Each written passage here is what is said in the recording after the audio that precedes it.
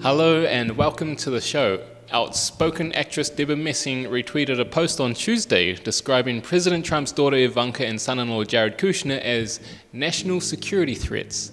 The tweet came just after Trump announced that he had asked for former National Security Advisor John Bolton's resignation amid strong disagreements he's had with the administration.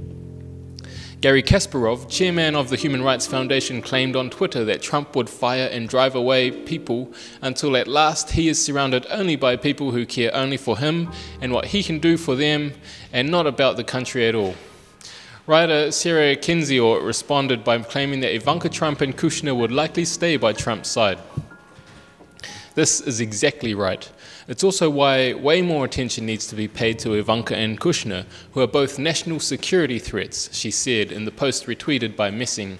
Messing, a vociferous critic of the president, has received attention for recently calling on the Hollywood Reporter to publish the names of people attending a fundraiser for Trump.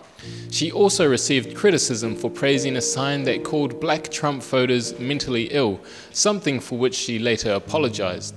Messing on Tuesday also retweeted conservative writer David Frum, who blasted national security officials for refusing to call out the president's alleged incompetence.